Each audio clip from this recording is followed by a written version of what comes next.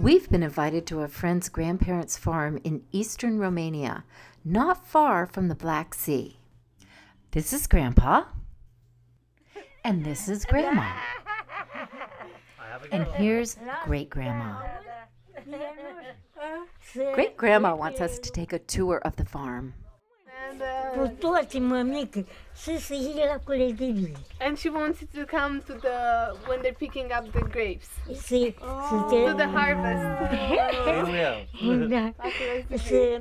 uh, Diana ăsta dus iarăși calea pe acum. She, she wants to show you the horses Portetul de, de and the oi, pigs care and oi, oh, and the de sheep. găie și bețiul ăla nu acolo, Da, da, da. ca să știți. And the yacht. Once a year, they make the they make this service to sanctify all the waters, and they sing this hymn.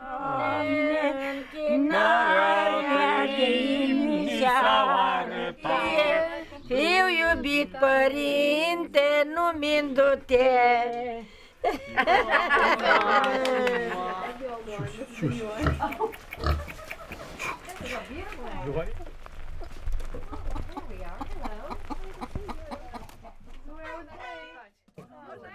Great Grandma wants to show us where she cooks the mamaliga, which is a polenta like dish.